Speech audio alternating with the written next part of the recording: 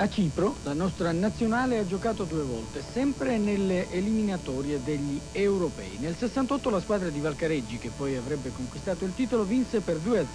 Il primo gol di Domenghini. Il secondo venne realizzato da Giacinto Facchetti su azione di calcio d'angolo. Nel 1900